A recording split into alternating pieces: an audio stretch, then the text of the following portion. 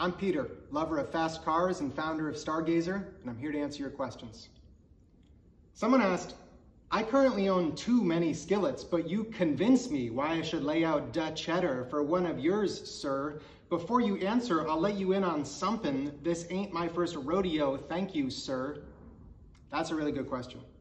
So I understand that Stargazer skillets are an investment.